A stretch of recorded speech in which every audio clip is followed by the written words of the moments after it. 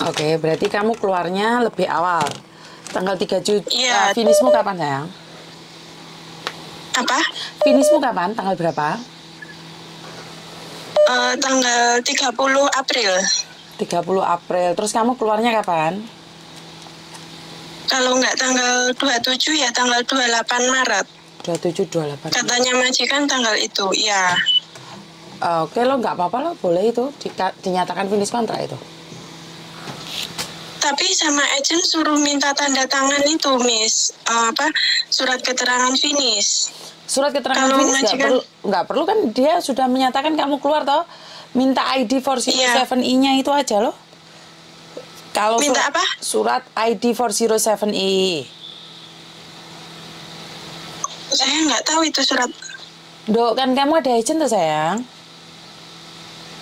Iya, sama agent. Iya, sama agent dikasih surat itu. Surat itu sudah saya kirimkan ke Miss baru aja.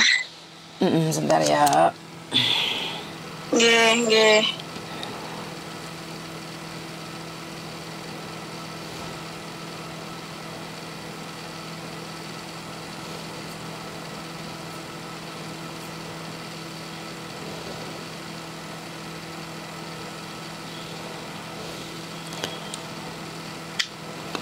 Mana dok? Soalnya bawahnya yang SMS aku nggak kelihatan SMS-mu. Oh.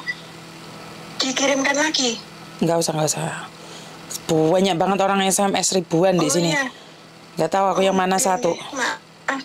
Oh sudah sudah sudah ngeliat dok sudah ngeliat sudah. Baru saja, Miss. Oh iya ya. Sudah gitu. sudah sudah sudah. Oh ya surat ini loh dok. Kan kalau enggak kan majikanmu ntar bermasalah. Nggih. Di imigrasi bermasalah dia. 30 April.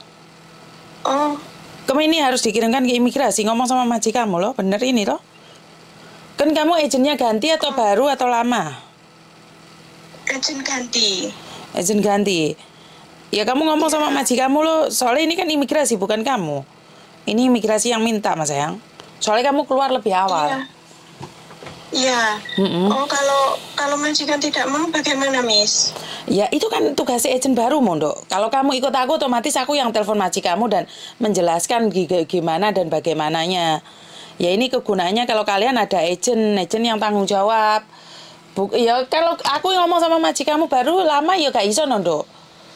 Itu kan wes eh, harus agent yang ngomong. Kalau kamu nggak bisa ngomong kan agent bisa menjelaskan alasannya kenapa butuh kertas itu. Oh iya, soalnya saya bilang ke majikan itu pulang Indo begitu. Oh, lewat ada kebohongan Bagaimana? itulah yang saya nggak setuju itu kalian tuh bohong, Ma. Ya, gimana, Miss? Jujur, Miss. Iya, kalau saya memilih jujur, Dok. Saat kamu mau keluar, jadi jangan sekarang. Jadi ya abis itu Oh, kamu ngomong oke. sama majikan, eh Ya aku pikir-pikir aku nggak jadi pulang, soalnya kan mau lebaran, nggak cukup uang, aku mau cari majikan lagi. Lebih baik kamu jujur. Ini ini yang membuat kalian tuh bingung karena kalian nggak pernah jujur. Bener, Iya, toh? Iya, Miss. Orang yang ketakutan dan bingung itu nggak jujur itu loh, Dok. Tapi jangan ngomong sekarang. Iya. Kalau kamu ngomong sekarang di interminit, jadinya kelar kamu. Kalau karena 42 hari itu dinyatakan bahwa kamu itu uh, finish. Jadi sekarang jangan ngomong dulu. Ngomongnya waktu mau keluar itu, Miss. Betul. Aku ternyata mikir-mikir dada aku aku mau cari majikan lagi. Tolong tanda tangan surat ini begitu, Miss. Bukan, soalnya kenapa? Eh, ini ya sebenarnya tugasnya agent. Sekali lagi ini adalah tugas agent untuk mengeksplain sama majikanmu. Karena kalau kamu sampai tidak memutus ini, kalau aku ada apa-apa di luar sana kan majikan yang tanggung jawab. Ya. Mm-mm. Jadi kalau aku ada kecelakaan, ada apa kalau majikan tidak tanda tangan ini, maka eh, saya masih di bawah tanggung jawabmu. Padahal saya nggak jadi pulang gitu loh. Ngerti nggak? Oh, oh iya, iya. Mm-mm, mm-mm. Jadi ngomongnya seperti itu, Miss. Iya, karena karena saya nggak jadi pulang. Makanya eh, biar kita hubungannya putus, eh, Anda tanda tangan ini kalau nggak percaya tanya saja sama imigrasi. Dan kalau nggak bisa, kamu minta tolong KJRI untuk menjelaskannya agar KJRI telepon agenmu yang lama. Oh, agent yang lama ini, Miss, bukan agent yang baru. Iya bukan, agent baru, agent lama sebenarnya nggak apa-apa bisa jelasin. Karena itu aku selalu bilang kalau cari agent yang tanggung jawab yang bisa membantu. Bukan cari majikan cocok, cari agent juga harus yang cocok. Ngerti? Oh iya Miss. Lah kayak gini Iya, ada kalau iya. kesah kan otomatis kan agentmu bisa telepon toh, nek majikanmu yang lama pakai HP-mu terus ngobrol kenapa harus ini. Sebenarnya majikan bukan nggak mau tanda tangan, tapi majikan kan nggak paham. Tidak semua majikan itu tahu peraturan. Karena itu aku selalu bilang, cari agent yang benar-benar mau membantu. Bukan saat mau tanda tangan aja. Ngerti? Iya Miss. Karena datamu Oke. itu tidak bisa diproses. Kecuali kamu 14 hari lebih awal nggak apa-apa. Lah ini 35 hari karena prosesmu nggak bisa diproses. Masuk ke imigrasi. Karena Oh. imigrasi masuknya 28 hari. Kalau sudah 28 hari baru bisa masuk imigrasi. Tapi kalau ada suratnya itu sekarang pun boleh masuk. Itu bedanya kalau kamu ada surat itu. Kalau nggak ada surat itu apakah bisa proses? Bisa. Tapi 28 hari sebelum finish kontrak itu baru bisa masuk imigrasi. Kalau nggak ada surat yang tadi itu Ndo, yang kamu kasih aku itu. Itu surat Oh, ID Miss. ID 407E. Kalau ada ID 407E, kapan aja bisa dimasukkan. Tapi kalau nggak ada, nunggu 28 hari sebelum finish kontrak itu baru masuk ke imigrasi. Itu bedanya. Karena itu Oh, aku iya, selalu Miss. selalu bilang sama kalian cari agent yang benar-benar bisa membantu luar dalam. Lah kalau cuman mencariin majikan siapa aja bisa nyari majikan toh. Kalian lewat internet juga Iya. bisa cari majikan toh. Iya. Mm-mm, lah masalah kayak gini nih lah. Tanya agent katanya udah kamu minta aja begitu. Terus nanti kamu kirim sendiri ke imigrasi. Iya toh Miss itu suratnya saya sendiri toh yang ki- kirim ke imigrasi. Saya kurang tahu ya dok ya karena agent itu di sinilah yang dinamakan tanggung jawab. Sebenarnya kan agentmu juga bisa bantu. Agentmu baru loh. Agent baru aja nggak tanggung Iya, jawab. tapi- Masalah sepele ini aja nggak bisa bantu. Bagaimana kalau lain kali kamu ada masalah?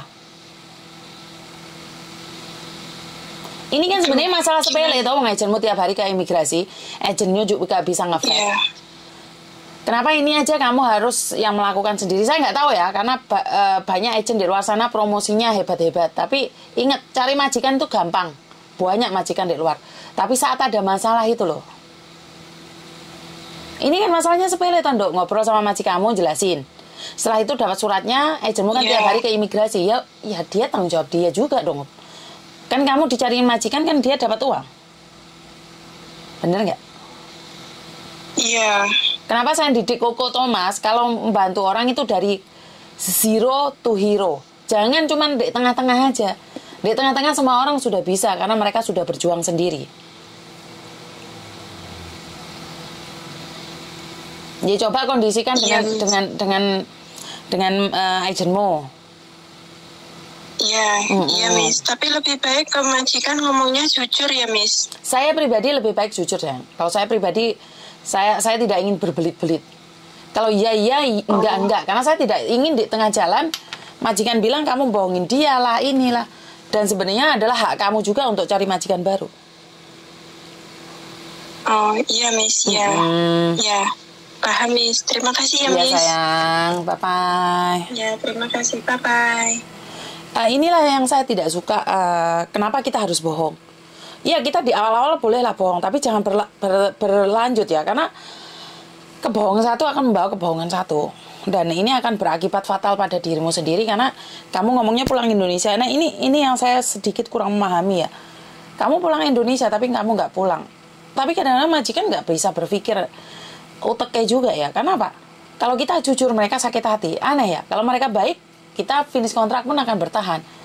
Kalian inginnya kita bertahan, tapi kalian perlakuannya nggak jelas kayak gitu. Jadi buat mbak-mbaknya di luar sana, saya lebih suka kejujuran. Ya mungkin tidak tidak enak, mungkin pahit, mungkin melelahkan, mungkin capek, tapi saya akan berjuang untuk sebuah eh, kejujuran saja. Nggak jujur, mumet soalnya mbak remek di hati itu benar-benar remek. Kita nggak nggak bisa berbuat apa-apa. Dan eh, cari agent yang membantu from zero to be hero. Jadi dari sesuatu yang tidak mungkin menjadi eh, sebuah eh, keajaiban. Nah kalau sudah enak kan siapa sih yang nggak suka? Karena itu saya selalu bilang cari agent yang bermasalah. Eh, cari agent yang mau uh, menangani masalah. Bukan cari agent yang tidak ada masalah, terus ada masalah sedikit aja, masalah ID 407i aja nggak bisa bantu. Itu sebenarnya masalah kecil. Dari situlah kita kita tahu sebenarnya agent yang benar-benar tanggung jawab. Lah ini aja kamu finish kontrak aja sudah kayak gini. Apalagi kalau suatu saat ada masalah dengan majikan. Bodoh amat. Bener nggak? Jadi buat teman-teman salam sukses selalu, damai sejahtera, berkat Tuhan mengalir atas hidup kita semua. Semoga semua makhluk hidup bahagia dan terima kasih. Bye-bye.